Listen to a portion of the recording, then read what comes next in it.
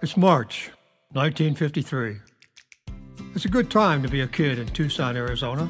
It's the windy month. The afternoons are for kites, kite fighting.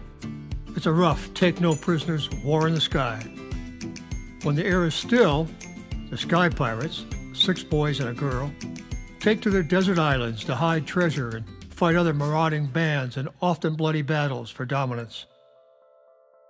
There is another wind, a dark storm that blows through the neighborhood. It leaves some people dead and others missing. The Sky Pirates team up with an old Apache in a fight for their lives against the local gangsters. The bad guys start it, the Sky Pirates take them on, and Nino Cochise ends it the Apache way. And you know, Nino doesn't believe his father Taza died of pneumonia in Washington, D.C. in 1876. He was buried quickly and quietly in Congressional Cemetery. Was he murdered? Nino has to find out.